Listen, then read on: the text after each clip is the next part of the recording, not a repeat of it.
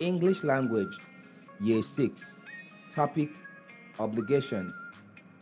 In this lesson, we will learn about using obligations in sentence. Did you hear me say obligation? O B L I G A T I O N. Have you heard the word before? Do you know what obligation means? Obligation is something a person must do, like a duty or requirement. As a teacher, my obligation is to teach you very well.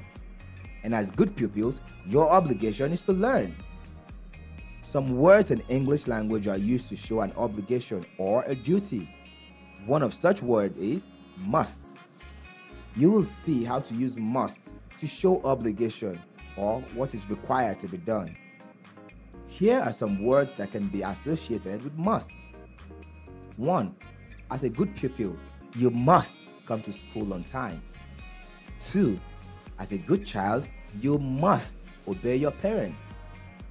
Must is used in sentences 1 and 2 to show what is required of you as a pupil.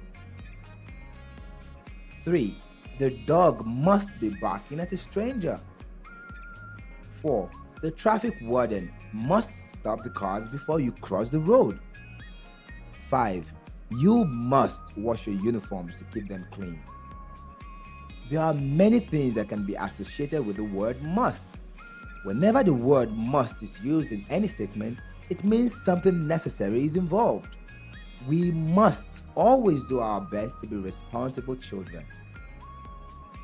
That was interesting, wasn't it?